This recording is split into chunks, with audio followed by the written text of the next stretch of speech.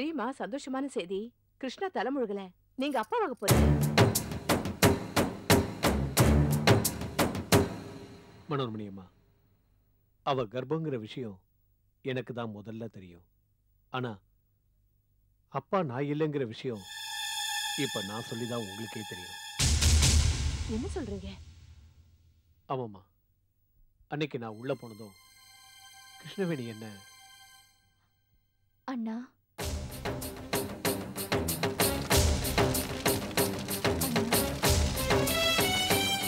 கூப்பிட்ட பொண்ணு வேற யாரா இருக்கலாம்.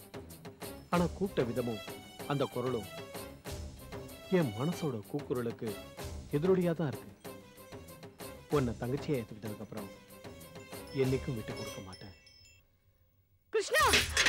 மனோன்மணியம்மா எல்லாரும் பொண்ணுங்களை வளர்க்குற மாதிரி நீங்க கிருஷ்ணாவை வளர்க்கல. அதனால எல்லா அம்மா மாதிரி இந்த சமயத்துல நீங்க நடந்துக்காதீங்க. அவ மன அதிர்ச்சியில இருக்கா. தான் ஆசைப்பட்ட வாழ்க்கை கிடைக்கலன்னா தற்கொலை செஞ்சுக்கவும் தயாரா இருக்கா? இப்ப ஆசைப்பட்டவனே கிடைக்கலன்னும் போது தாயாயிட்டமே கலங்கி நிக்கிறா தயவு செஞ்சு நீங்க ஒரு சராசரி தாயா நடந்துக்காதீங்க. என் பொண்ணையே உலகமா நினைச்சேன் அவ சிரிச்சா நான் சிரிப்பேன். இப்ப அவ அழுது ஊர் சிரிச்சா? இத பாருங்க. அவளை நீங்க ஏதாவது சொன்னீங்க ஒரேடியா அவளை இழந்துருவீங்க. அதை விட நான் ஏன் கூட கூட்டிட்டு போயிருந்தேன் என்ன ஒரு சங்கடம்? செய்யாத தப்புக்கு அந்த சீதை அக்னி பிரவேசம் பண்ணுவான். தயவு செஞ்சு யாரு என்னன்னு கேள்வி கேட்காதீங்க. காலம் நல்ல பதில சொல்லட்டும். காத்துக்கிட்டு இருப்போம். அப்படி முடியலையா? அவ பெத்து கொடுக்கறத எனக்கு தத்து கொடுத்துருங்க. நான் வளர்க்குறேன்.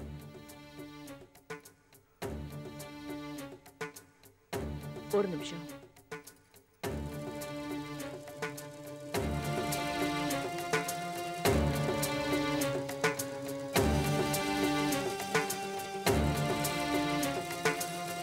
இந்தாங்க நீங்க கொடுத்த பத்திரம். நான் இதை கேட்கவே இல்லையே. உண்மைதான். கொடுக்கறதுக்கு முந்தி கேட்டேன் கொடுத்தீங்க. இப்ப கேட்கல. என் மக நான் சொன்னதை கேட்கல. அப்புறம் இது எதுக்கு எனக்கு? இந்த மனோன்மணிக்கு மடி பிச்சை எடுத்து பழக்கம் இல்ல. அவளே தெருவுக்கு வந்ததுக்கு அப்புறம் எனக்கு எதுக்குங்க உங்க சொத்து சுகமெல்லாம்? என் தங்கச்சி கிருஷ்ணாவை கண்கலங்காம பார்த்துக்குங்க. எப்போ என்ன உதவி தேவைப்பட்டாலும் எனக்கு தகவல் கொடுங்க.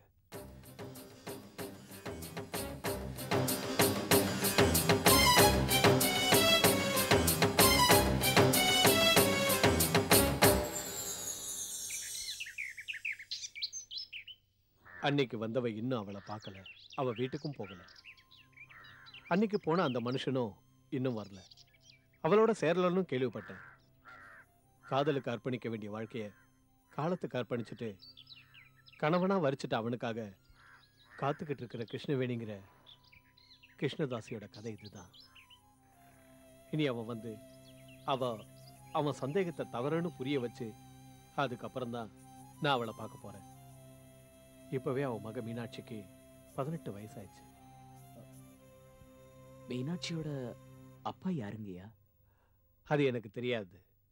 உனக்கு தேவையில்லாது. சரி நீ புறப்படு. கிருஷ்ணாவை நான் ரொம்ப கேட்டதா சொல்லு. அவளுக்கு கிடைக்கிற பேர் புகழ் பதவி எல்லாத்துக்கும் நான் உதவியா இருப்பேன். வரேங்கய்யா மனிதன் என்பவன் தெய்வமாகலாம். உங்களை போல இருந்தா. சரி நீ புறப்படு. ஆ. என் கிருஷ்ணாவோட மகளை நீ காதலிக்கிறியா? ஆமா. வரேங்கய்யா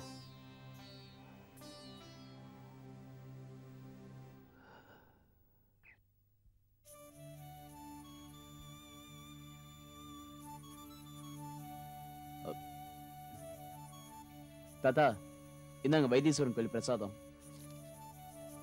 போன காரியமெல்லாம் நல்லபடியா நடந்ததா? நினைச்சுட்டு போனதை விட நன்னாவே நடந்தது. நல்ல தரிசனமா? கிட்டக்கு போய் சாமியை பார்த்து நன்னா வேண்டிண்டியா? அருமையான தரிசனம். கிட்ட போய் பார்த்து பேசிட்டே வந்துட்டேன்.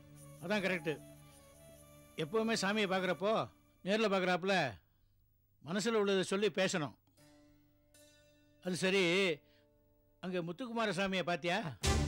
வைத்தீஸ்வரன் கோவில்ல முத்துக்குமார சாமி இருக்கிறது இவருக்கு எப்படி தெரியும்? அவரை பார்த்தியா இல்லையா? பார்த்தேன் எங்கே இருக்கார்? அங்கதான். எப்படி இருந்தார்? நல்லா கம்பீரமா இருந்தார். நிறைய பேர் உதவி கேட்டு அவரை தேடி வந்தாங்க. கேட்டவாளுக்கு கேட்டுப்பட்டு கொடுக்குறவர் தான் முத்துக்குமார சுவாமி எங்கே இருந்தார்?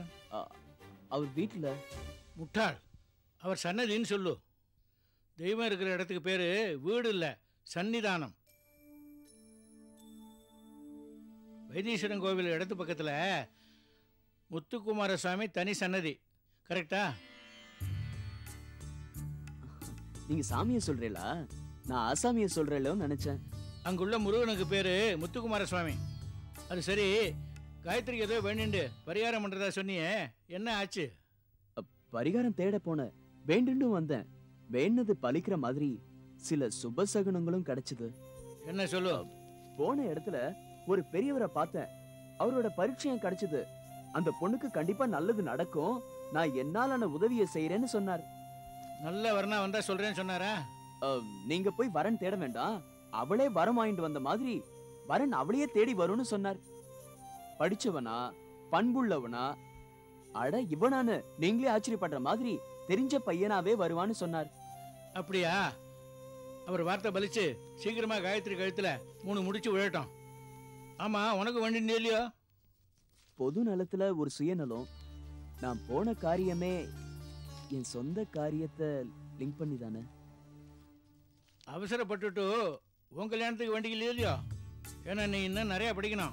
ஆ.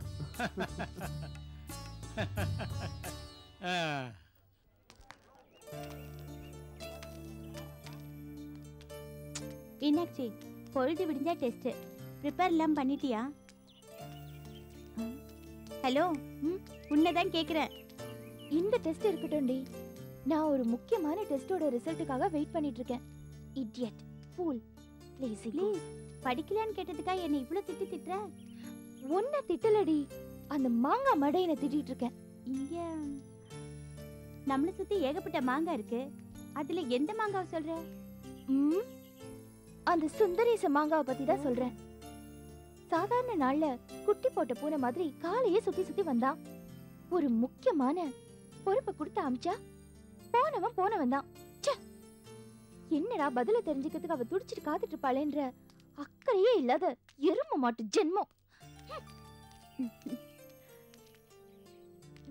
இத்தனை நெருக்கமான வசவுகள் உன் வாயில இருந்து வருதே. நீ அவனை என்கேஜ் பண்ணிருக்கியா? ஆமா என்கேஜ் பண்ணிருக்கேன். எனக்கு இல்ல ஒரு வேலைக்கு. அவனை பார்த்தாலே நெருப்ப மிதிச்சா மாதிரி குதிப்ப? எனக்கு அவனை அனுப்பி ஒரு முக்கியமான மேட்டர் தெரிஞ்சுக்க வேண்டியிருந்தது. அதான் நெருப்ப மிதிச்சாலும் அது ஒரு தீமிதி வேண்டுதலையா நான் நினைக்கிறேன். என்ன விஷயம் நான் தெரிஞ்சுக்கலாமா? டெஸ்ட்டுக்கு படிக்கிற. இப்ப எதுக்கு உனக்கு அக்க போர் கேக்குற ஆசை? ஒரு இன்ட்ரெஸ்ட் தான். ஏன் வயித்து வலி எனக்கு. அதான் அவனை வைத்தீஸ்வரன் கோயிலுக்கு அனுப்பியிருக்கேன். ஏய் வைத்தீஸ்வரன் கோயிலுக்கு அவன் போனா உன் வயித்துல எப்படி சரியா போகும்? இந்திரா எங்க அப்பா யாருன்னு தெரிஞ்சுக்கிறதுக்கு எனக்கு ஒரு க்ளூ கிடைச்சிருக்கு. எங்க அம்மா மனசை விட்டு பழகுன ஒருத்தர். வைத்தீஸ்வரன் கோயில்ல முத்துக்குமாரசாமின்னு இருக்காரு. அவரை பார்த்து ஏய் அவர்தான் உங்க அப்பாவா? அதை தெரிஞ்சுக்கதான் அவனை வைத்தீஸ்வரன் கோயிலுக்கு அனுப்பிச்சிருக்கேன் அவர் எங்க அப்பாவா? இல்ல அவர் மூலமா எங்க அப்பா யாருன்னு தெரிஞ்சுக்கலான்னு கேட்டுட்டு வர சொல்லி இந்த சுந்தரேசனை அமிச்சேன். இன்னும் வரல. சரிடி. இவ்வளவு பெரிய பொறுப்பை ஒப்படைச்சிட்டு சீக்கிரம் வரணும்னு எதிர்பார்த்தா எப்படி? அவன் வந்த உடனே உன்னை தேடி தானா வரப்போறான். அதான் வரலையே. வந்துட்டானா? ஊர்ல இருக்கானா? இல்ல ஹாஸ்டல்ல இருக்கானா? ஐயோ ஒண்ணுமே புரியல. அதை கண்டுபிடிக்கிறது ரொம்ப ஈஸி கல்யாணி மேடத்தை பார்த்து பேசுவோம். அவங்க கிட்ட பேச்சு கொடுத்து நம்ம கண்டுபிடிச்சிடலாம். ஓகே? போலாமா? நீ வா. ஓஹோ இஸ் இட் சோ ஃபோன் பேசுறது போதும். கிளாஸுக்கு போ. Good morning good morning madam good morning ஒரு சின்ன வெரிஃபிகேஷன் எந்த சப்ஜெக்ட்ல சப்ஜெக்ட்ல இல்ல. பர்சனல் மேட்டர் சிதம்பரம் யூனிவர்சிட்டிலேருந்து டான்ஸை பற்றி கேட்க பிஹெச்டி ஸ்டூடெண்ட்ஸ் அம்மா பார்க்க வந்திருந்தாங்க. கேள்விப்பட்டேன். அப்போ அவங்க டான்ஸ் முத்திரைகளை பற்றி கேட்டாங்களாம். அம்மா டீட்டெயில்ஸ் கலெக்ட் பண்ணி வச்சுருக்காங்க. அவங்க கிட்ட உங்கள் சிஸ்டர் வீட்டில் இருந்து யார் மூலமாக கொடுத்து அனுப்புறதுன்னு உங்ககிட்ட கேட்டு வர சொன்னாங்க. அப்படியா? சுந்தரேசன் தானே அவங்க வந்தப்போ அவங்க கூட இருந்து கூட்டின்னு வந்தது? ஆமா மேடம் அப்போ அவன் தான் கரெக்டான ஆள். அவனுக்கு தான் அவங்கள தெரியும். சுந்தரேசன் வதீஸ்வரன் கோயிலுக்கு போயிட்டு வந்துட்டான். வந்துட்டானா? இல்ல அம்மாவும் நீங்க சொன்ன மாதிரி தான் சொன்னாங்க. அதான் வி ஆல்சோ எக்ஸ்பெக்ட் நான் அவனை பார்த்தா உன்னை காண்டாக்ட் பண்ண சொல்றேன். தேங்க்யூ மேடம் ம். டேய் சுந்தரேசா உனக்கு அதிகாரப்பூர்வ அழைப்புடா. அதான் மீனாட்சி. ம்.